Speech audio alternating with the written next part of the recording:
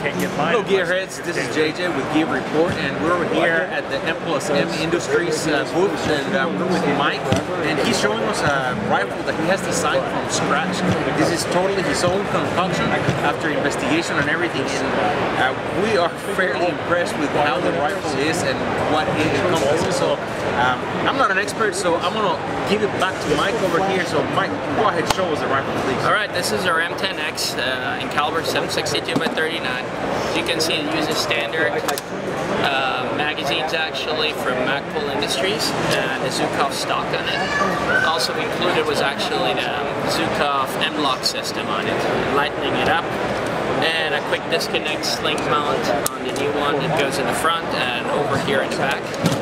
So, and I wanted to really quickly show you all guys how simple this firearm was designed. It has very, very few parts, actually half of the parts of all the firearms out there.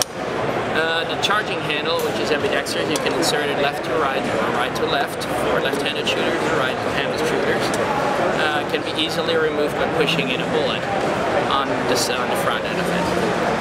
Then the entire gas system, when you push down a little plunger, you can remove it. It has the gas valve that has multiple positions to shoot it actually suppressed and on standard mode basically for standard ammunition in the different gas ranges because the 762 by 39 has been known to be very dirty. It has actually two um, two settings uh, in case it would ever plug out and will always function as firearm. Yeah, okay. Well, uh, obviously what I wanted to show you is, is assembly. It has a button back here which very simply you can actually push in, break it up like a standard, oh sorry, like a standard uh, rifle actually, the standard uh, issue rifles itself. Then the upper and the lower they come together uh, they very easily uh, apart. We've got our bolt and bolt carrier. Right there you can remove it. We are not allowed to have any firing pins because Elsa would show you how the removal of the most basic of the firing pin on this firearm. And then the actually upper from the lower separation. Very simple. We made it that any five cents coin or anything you can use that one to actually separate it apart.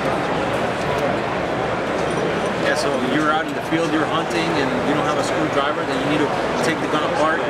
You have a coin, you can do it. Yep. Just taking this part apart, right here. Got the screw out. Everything there.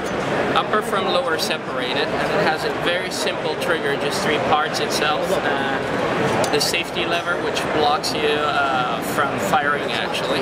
That's integrated with actually locking plates for the for the actual trigger housing.